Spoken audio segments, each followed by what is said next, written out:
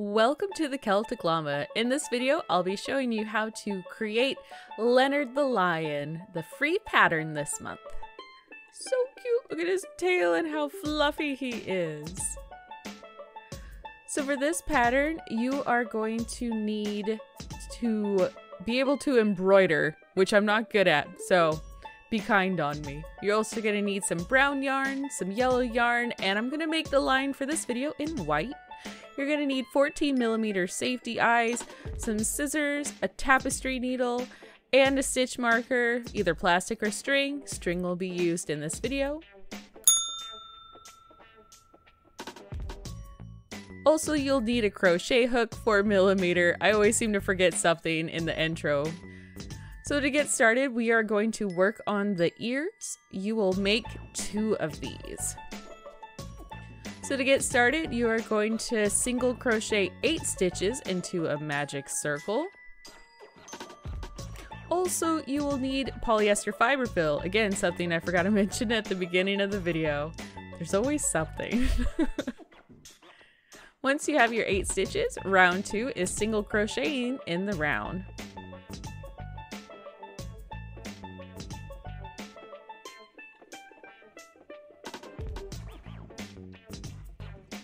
And also a surprise for this video, we will have a special guest halfway through, so you'll have to stay put and see who comes in.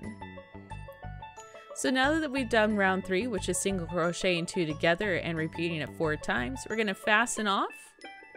I'm just gonna snip my extra string there. You wanna leave a long string for sewing and voila!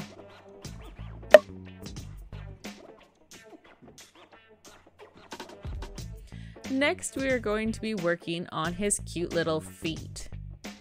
For this pattern, you are going to need to make four. So to get started, you're going to start off with brown and you're going to work six single crochets in the round, followed by working an increase in its each stitch. And then you will change your yarn to either yellow or white or whatever color you would like your lion to be and you're going to single crochet in the round in the back loop. So I'm just fastening off my brown yarn and setting it aside and tying and securing all my strings. Next for rounds four and five, you're going to single crochet in the round.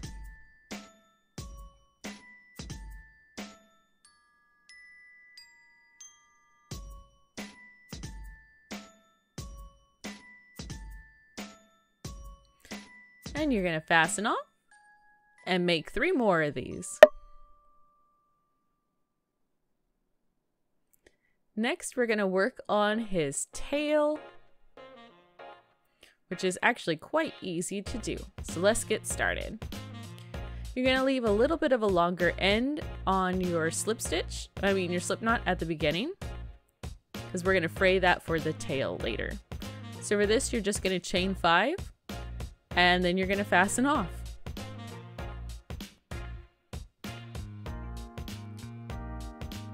Next, you're either going to take brown or white or gold, whichever color you'd like. For this video, I'm using the brown yarn.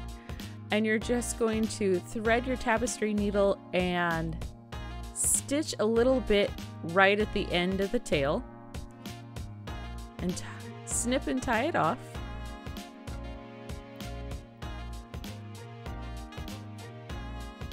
And then you are going to fray all of the yarn. There you go. And it's going to give the tail a nice little fluffy end. Next, we're going to work on his face and body all in one. So let's get started with that. You're going to start off round one by working six single crochets into a magic circle. Round two is single crocheting in each stitch.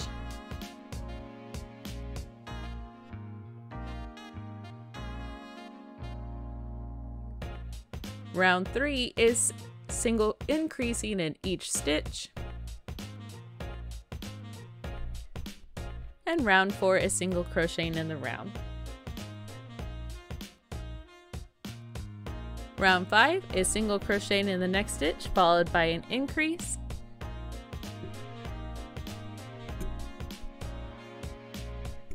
Round 6 is single crocheting in the next two stitches followed by an increase.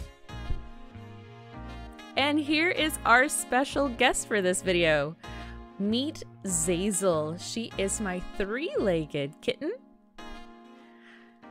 And it's very rare that she comes up on my desk, so she is in it for the long haul for the most part of the creation of the body of the lion. So let's enjoy Zazel's presence.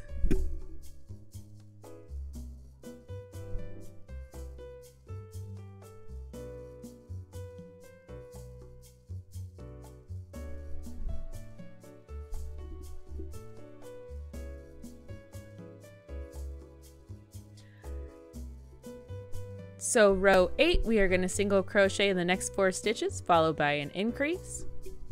And round 9, we are going to single crochet in the next 5 stitches, followed by an increase.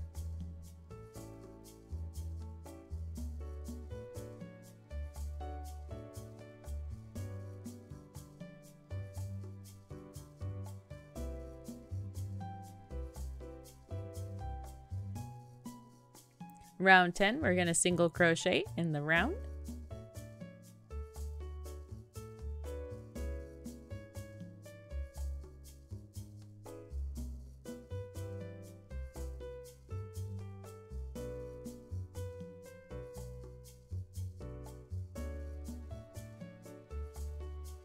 And row 11, we're going to single crochet in the back loop in the round. And the reason for the back loop is we will be using the front loop later to crochet the lion's mane on.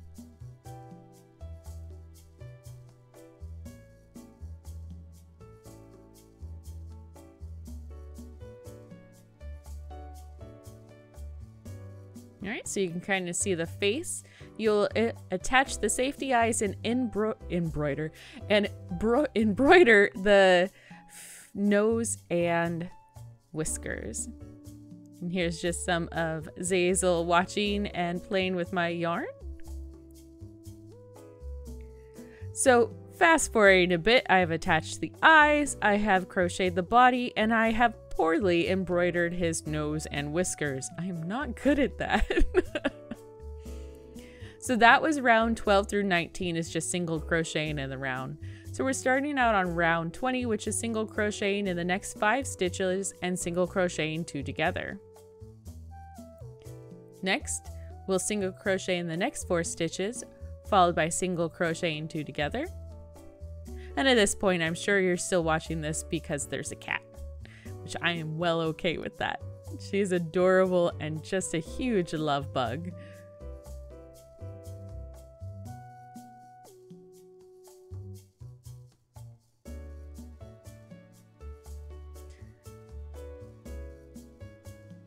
Think she's getting satisfied with my work and loving me up. You can't see it, but she's definitely giving me head pooks and getting a lot of little kisses on the top of her head. And at this point, she decides to leave, and she's actually sitting on the cat tree that's right next to my desk, so she's still watching me. So now that we've decreased, stuffed him, and added our clothes close the end of him. I can't even talk now. We are going to crochet the mane onto our lion and you'll be crocheting in the front loop, single crochet in the round. Again, this is a spot that we left undone from the previous back loop work.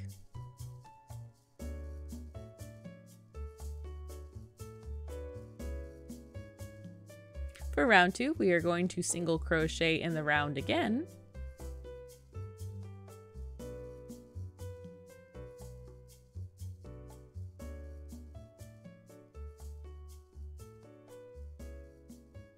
Next, we are going to do a repeating pattern of in one stitch, it'll be a single crochet and a half double crochet, followed by a double crochet and a half double crochet, and then a single crochet and a slip stitch. And this will be repeated all the way around in the round. And this will give the lion his fluffy little sunflowery mane.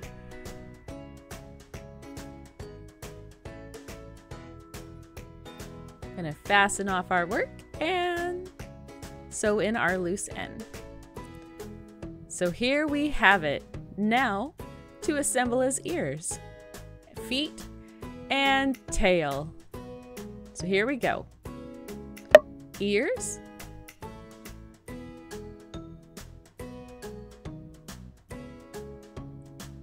Feet.